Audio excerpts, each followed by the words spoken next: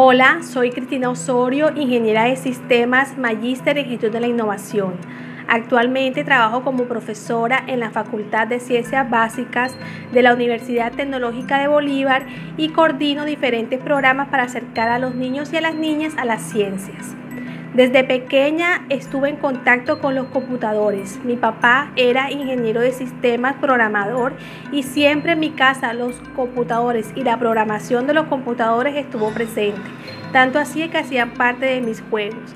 Creo que por eso me acerqué mucho a esta área y decidí estudiar ingeniería de sistemas aunque mi papá no tenía muchas mujeres eh, compañeras, es decir, mi papá iba a congresos eh, y traía las fotos de esos congresos y nunca vi muchas mujeres en esas fotos, pero tampoco vi lejana la posibilidad de ser ingeniera.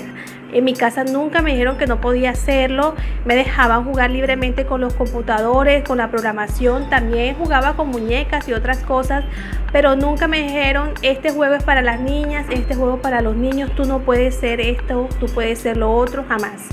De hecho, tomé la decisión de ser ingeniera de sistemas desde muy pequeña y para mis papás fue completamente normal, me apoyaron siempre eh, y creo que eso tuvo que ver mucho, que siempre estuve en contacto con las tecnologías, con este tipo de roles, sin importar el género. Actualmente lidero dos programas en la Universidad Tecnológica de Bolívar.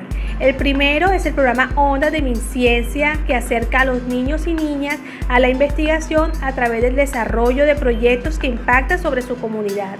Y el segundo es Mujer UTV, que, cuyo objetivo es visibilizar el papel de la mujer científica de la Universidad Tecnológica de Bolívar y acercar a las niñas a las áreas STEM a través de cursos de robótica y programación de computadores. Es importante que las mujeres, que las niñas se acerquen a áreas STEM.